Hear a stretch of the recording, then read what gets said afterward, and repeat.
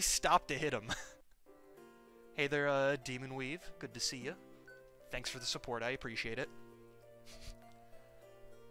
Ah. I would have been fine there if the sword hits had just hit that bat. but for some reason it just didn't cooperate.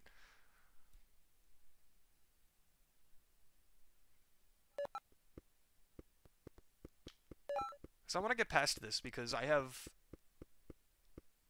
some uh, very dumb and big mistakes in the offline run that I'm comparing against. Because since I was just trying to finish a run to have splits to run against, I did some uh, less than optimal things, to say the least.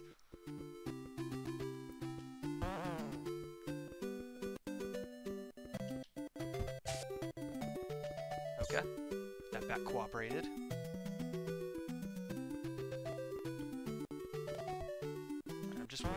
Killing him. I'm not... Okay, well, that bat was annoying. But he didn't kill me. Alright.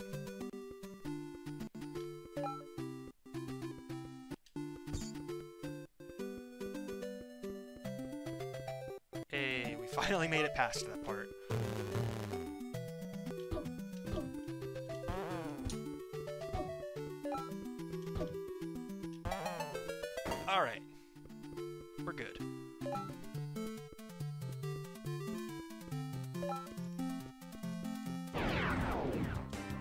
Now we're in the, generic old school RPG section, you know, the Final Fantasy part.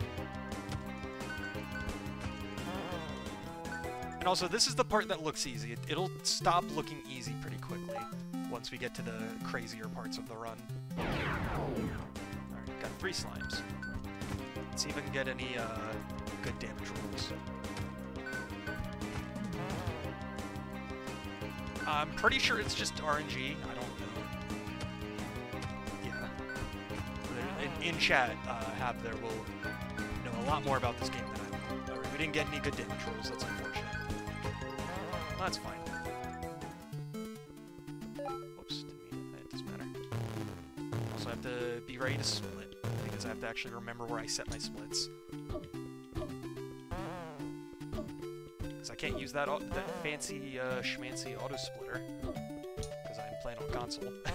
Have to do everything manually.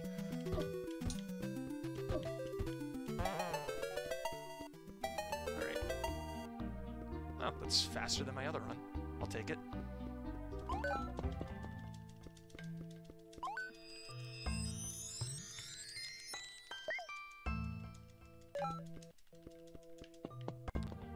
Now we're back to some uh, overworld type movement. That last section in this part with the village. We gotta go buy some items.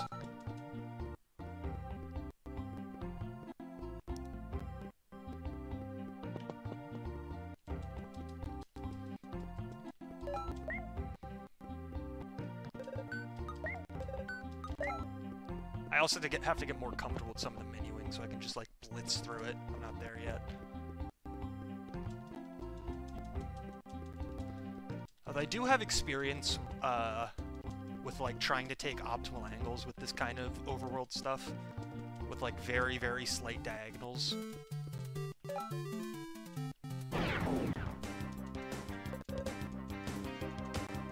I know, like casually this game's pretty cool actually because it's just like a bunch of uh, different styles and homages and references and parodies and all that good stuff.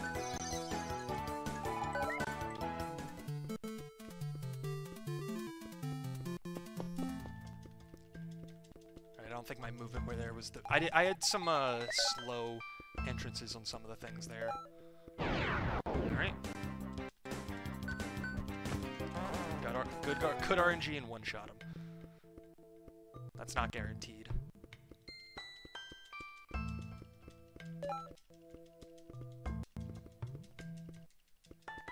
Okay, I don't really need the heal. Okay. Well, I might after this, depending on if I get hit or not. Alright, I didn't get hit.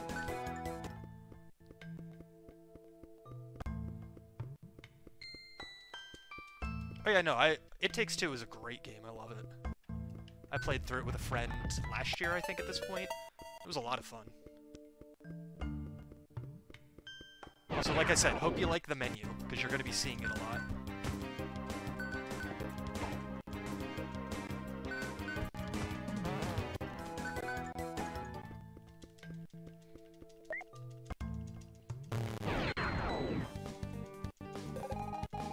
Still have to play uh, Land 2. I'm gonna get around to it at some point, but I'm uh, a little preoccupied with the first game right now.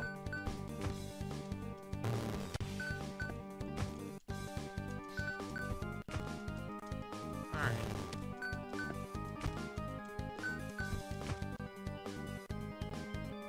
Gotta wait this out.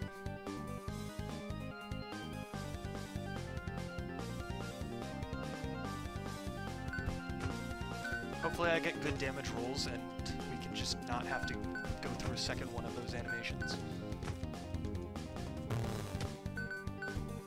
No, Land 2 is a is the second game, and I will not be playing it in a speedrun. I do not know that run at all, unfortunately.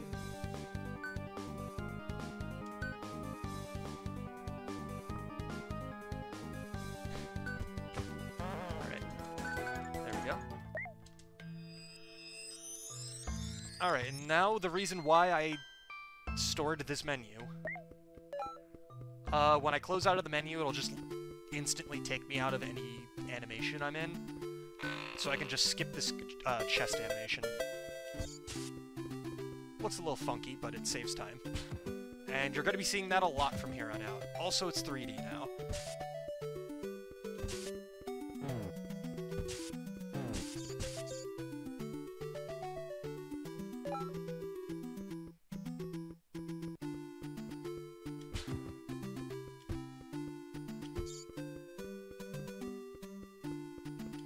Also, this, if you're, if you didn't notice, this is the area from the first part of the game, but we're going in reverse, because we can go different areas now. Get health drops.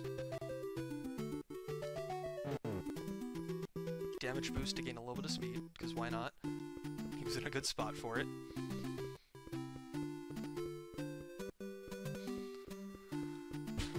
Alright, well that damage boost was not very helpful.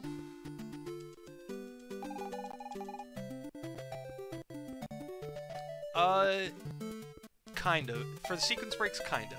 We do skip things that we're supposed to get, for sure.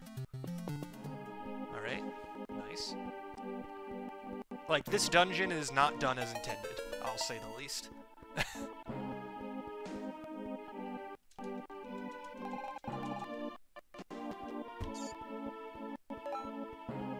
Because we will be doing a lot of the menu storage stuff in here.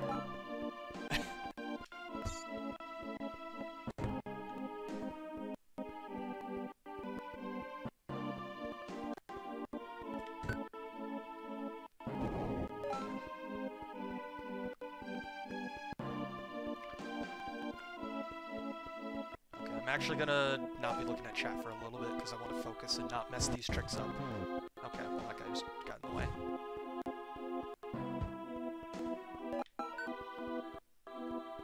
There we go.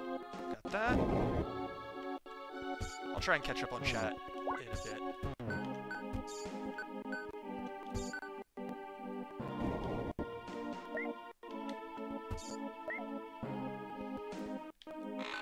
Also, uh, by using menu storage, we uh, duped that key chest, got a second key, and then just overlapped the opening animation so that I didn't have to sit through two of them.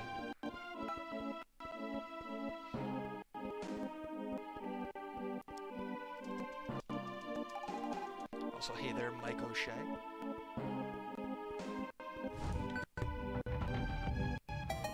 Alright. And we're doing this so we can skip another chest animation.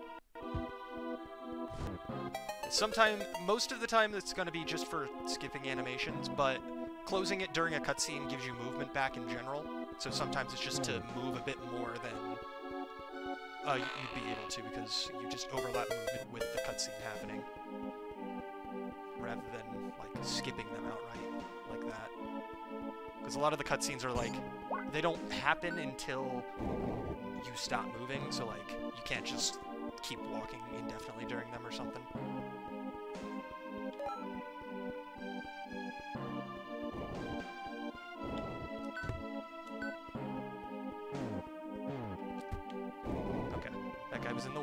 Got out. I was able to squeak past him, which is good because I actually don't have a lot of health right now.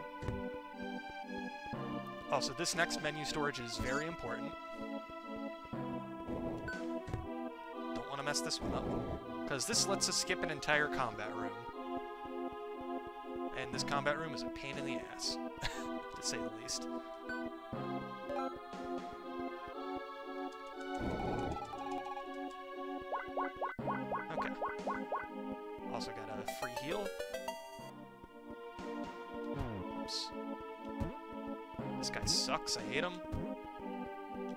Cooperated, kind of, though.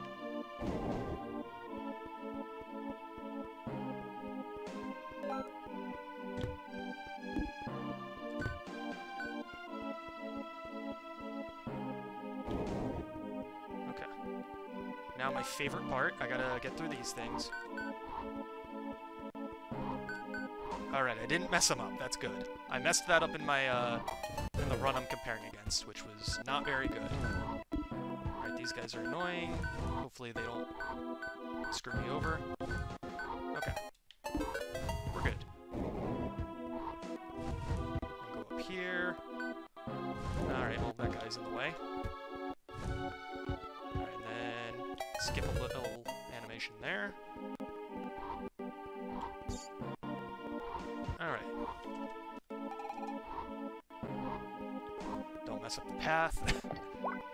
One of the paths I don't really mess up, but uh, still want to be careful because I can mess it up very easily.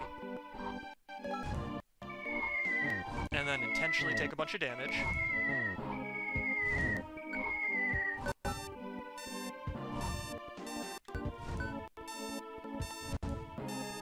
Hope you like that beeping noise because it's it's gonna be here for a minute.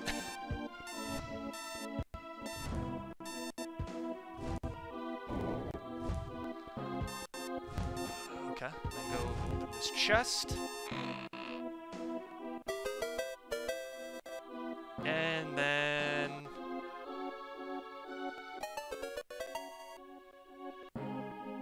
just hope the guy teleports next to me. Okay. Don't worry, that was intentional. Because that spawns us back at the start of the dungeon and we still have the boss key. So we just don't have to do that combat room. We can just go straight to the boss, and this boss is a pain in the ass.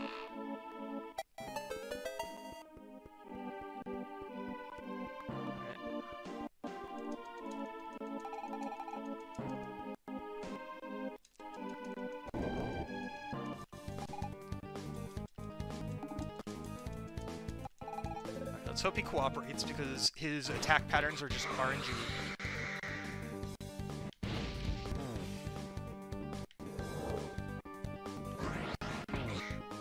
And you can only hit him after he charges into the wall like that.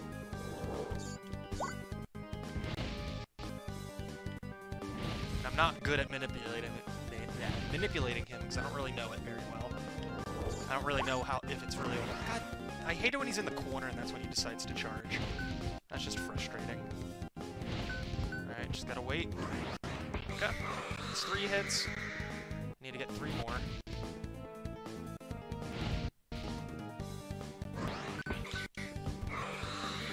Two more.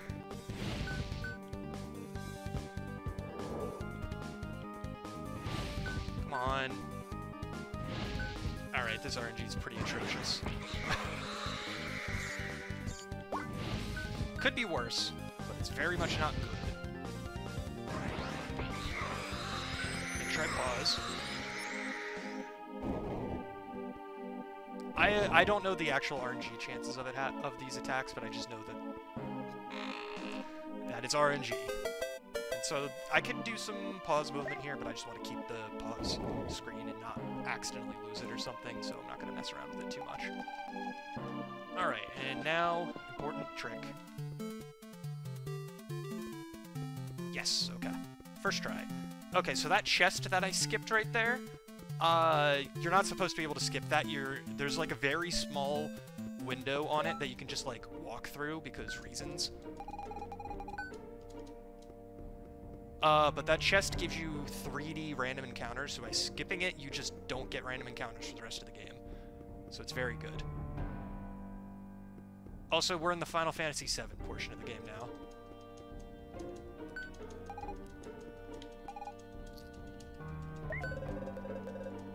Also, yes, pausing the game does essentially make it so you can't take damage and you're like immune to overworld stuff. So using pause, using your pause to just not take damage in that dungeon is a common tactic. Also, I kind of I have to wait because I have to wait for her to leave this area first, uh, because the game will soft lock if I mess that up. And I have done that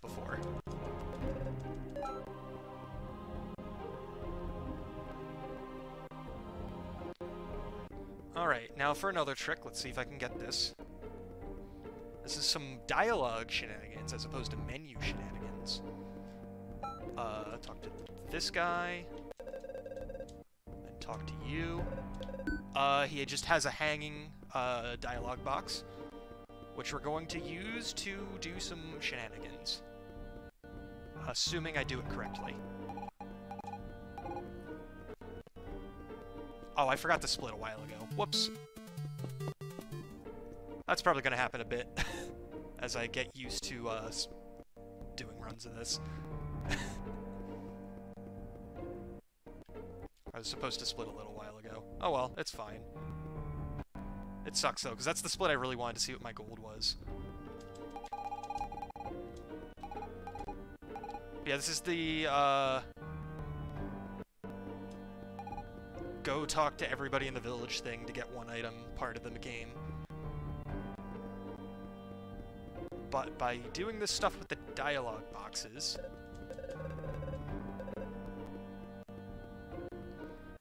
Uh, assuming this works, which I'm pretty sure it should, I get to skip the last one and just warp straight to getting the item after uh, doing this. Yes, okay. So yeah, this, uh, this scene is not supposed to happen this way. I'm supposed to be in a different room. And so by doing this, I just don't have to walk to that room, and I get to skip the last dialogue box as well. And it's going to warp me to the room I'm supposed to be in. So I don't have to walk, and then now I can just go leave. And now we get to do another Zelda area. But this one's going to have some interesting stuff going on, both game mechanics and shenanigans.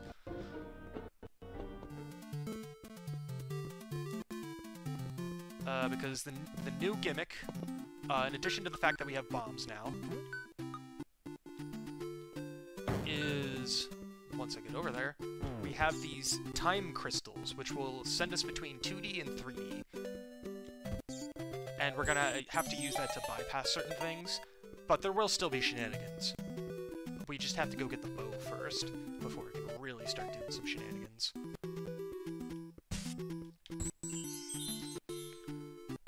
Blocks here we can only pass in 3D, because they're like half an inch tall, and you can't go half an inch in the third direction when you're 2D. Alright, here we have another one of these lava rooms. Uh, hopefully I don't fall in. Uh, I'm gonna play it a little safe at spots to make sure I don't fall in, because having to redo this room is annoying. These bats can absolutely lock you, knock you into the lava. It has happened to me more than once. Alright. And I get it. That I have the bow, I can just go ahead and do that, and then spawn back at the beginning of the room. Alright, now that we have the bow, uh, let the shenanigans begin. Because you can walk during it using the menu stuff, and then it happens as soon as you stop walking.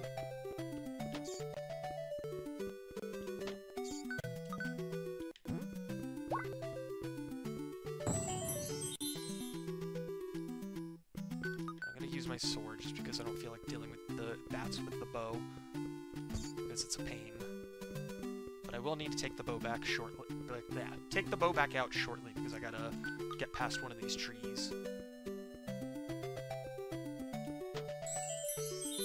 Alright. And then... Keep the bow out because I don't have to deal with any more bats for a minute. Okay, well, these guys still suck to hit, because all enemies suck to hit with the bow, but that's fine.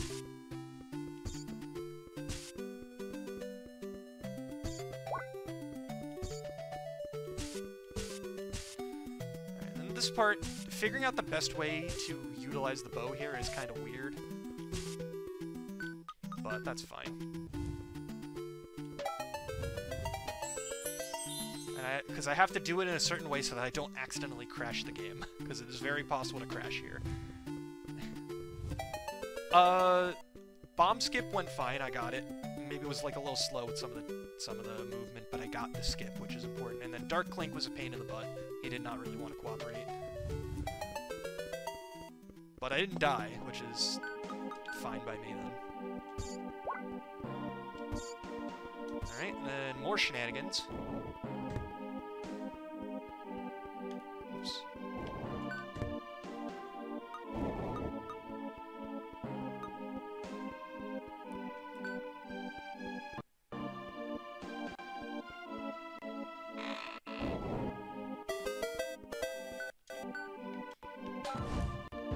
Also, skeletons die to one hit from the bow, so I'm going to be using that. And then I can cheese the hell out of the teleporting dudes with bombs in the pause menu, which is really nice. Because dealing with these guys otherwise is annoying. And I also got that pause. Hopefully I can actually see what pace I'm on, because I won't... I'll try not to forget to split this time. And also, having full health here is really good.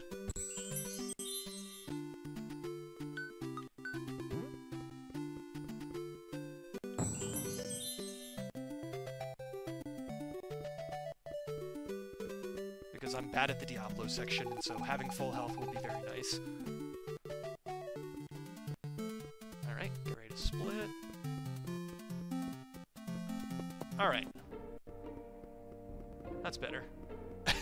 Better pace than last, uh, the run I'm comparing against.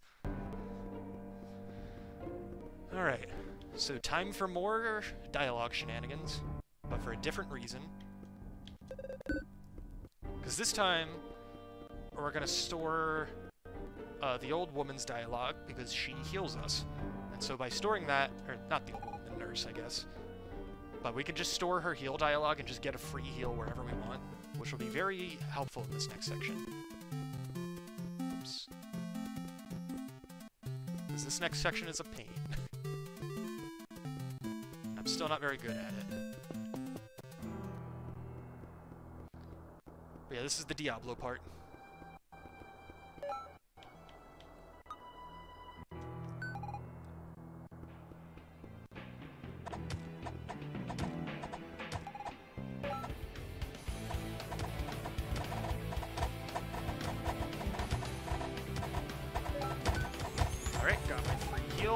Then I also get a free save that I can do wherever I want.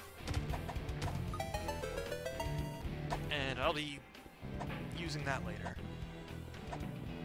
Both as, as a way to store more dialogue, and also because it just lets me save right before the boss, which makes the boss free, even if I mess up.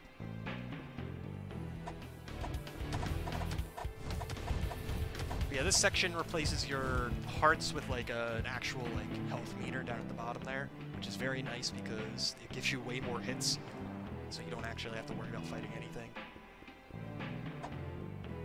Because any run where I don't start with full health once I get the health meter, I am very scared that I'm going to die. and then I usually do die. getting through these sections when you're, when you're not near full health is uh, not fun.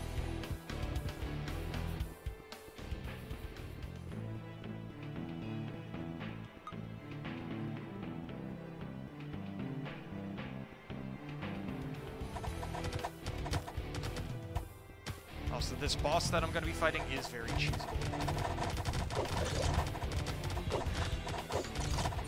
out way. Thank you. Alright, I have less health than I would like. But I should be fine.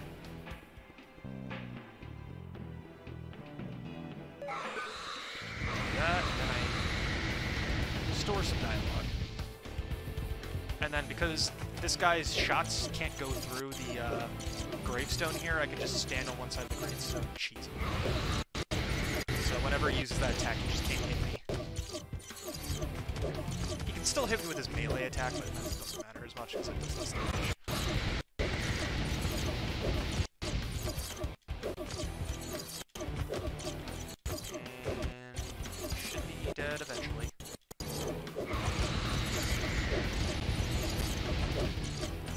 Dead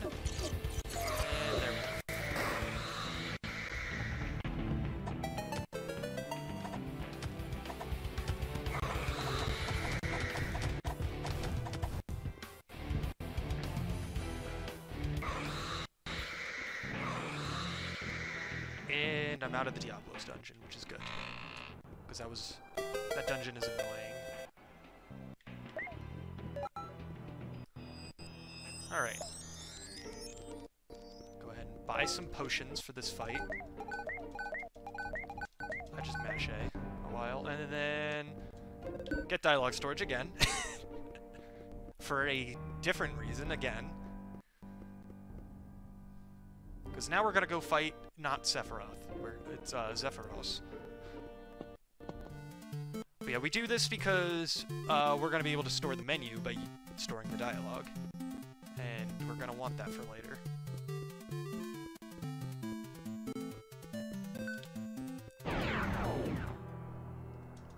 Alright. Uh, in the offline run uh, that I'm comparing against, I accidentally healed him on like turn 3. Like, I healed the boss by accident. So I had to do like an extra couple turns to do make up the damage. So I'm not gonna do that this time. Or at least I'm gonna try not to do it. We'll see if it, it happens or not. But yeah, we just gotta wail on him for a while and then eventually the fight will be over. And I just need to keep an eye on everybody's health, which is why I bought potions. And hopefully I don't get atrocious damage rolls. Uh, I say that and then I get 6 damage, so I'm not going to be lucky, These damage rolls are horrid.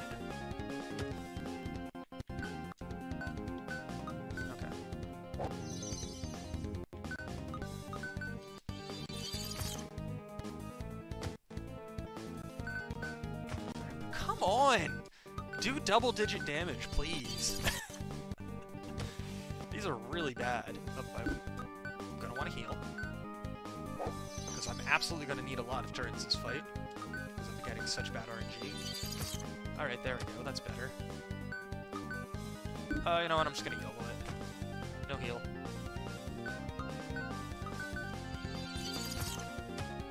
Alright, my YOLOing paid off. I think, hopefully. Alright, I don't know if it paid off anymore. That's fine.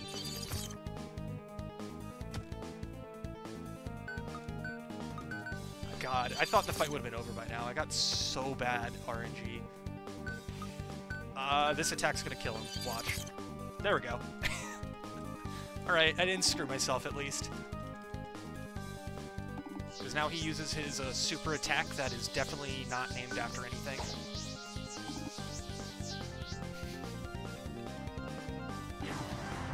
Completely original attack name. Uses that to wipe the party. And then blah blah blah, you'll we'll never stop. Then he murders uh not Aerith.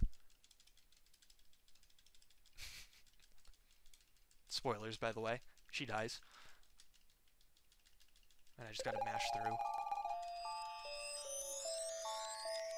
And then, in true anime fashion, uh, the helper character dies, so we get a huge power-up. And we can just summon God.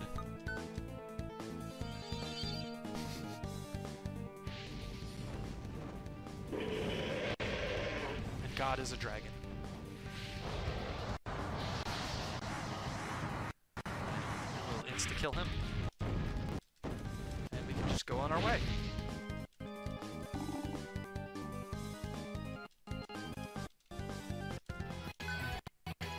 And then we still have our, uh, our menu up here, which is good. We'll need that very soon.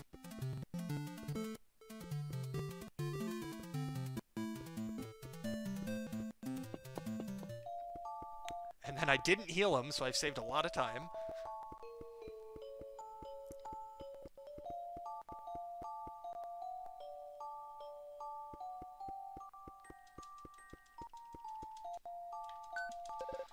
And we did that so that I can, uh, just leave during this cutscene. Uh, she's... she was in the menu because the menu was restored from when she was alive. If I open the menu now, she will not be there. And then we just wait for the cutscene to end now that we're out here. And then take the airship. Now we go fight the final boss. In the run I'm comparing against, I had bad execution and bad bad RNG during this fight. So hopefully it'll be better.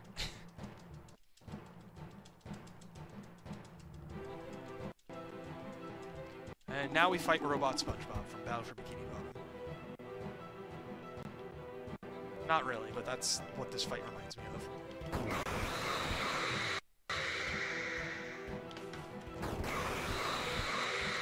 Mostly just because of the hand phase, which is only phase one. But it's not an inaccurate comparison.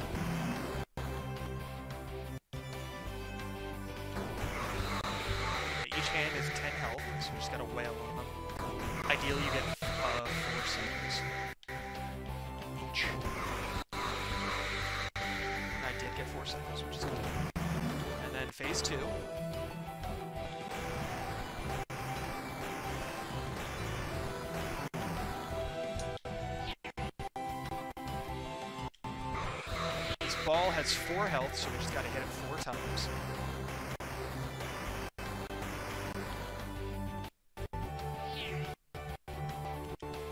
There we go. I messed that up and hit it once, hit it four, uh, once each cycle, so it took four cycles. And then this last phase is just pure RNG,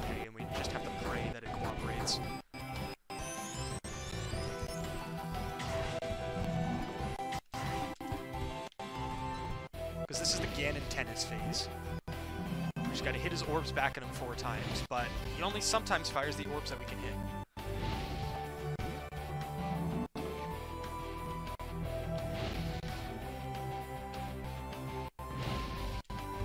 Alright, this is actually really good RNG.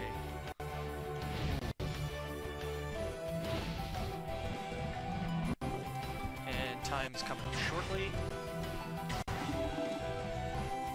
And there we go. That that final fight went a lot better than the previous run.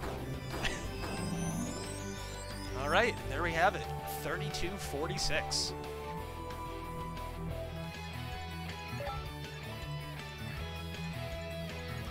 Sub 33. Not bad.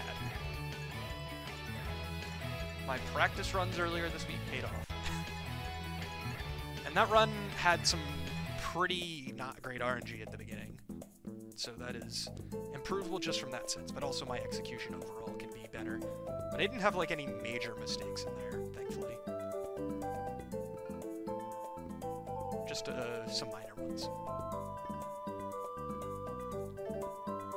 Now we get to watch the credits, because you can't skip them.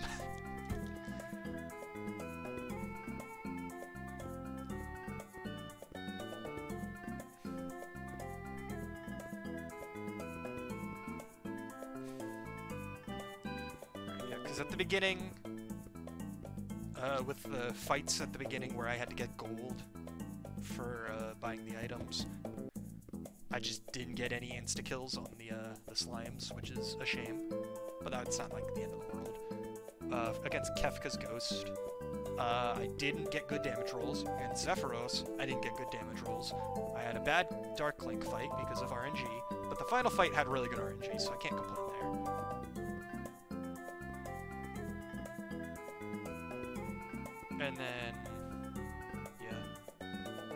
there's other, like, small RNG points that could be better, because in, like, the Sacred Grove at the end when I'm killing the dudes with the bombs, if they just decide to teleport to the same spot, I can kill them both with the same bomb. But obviously I can't control that. Oh, hey! That's a nice completion. I got 66.6% of the game. Yeah, that's a, I'm I'm pretty happy with that run for my first uh, streamed run of the category.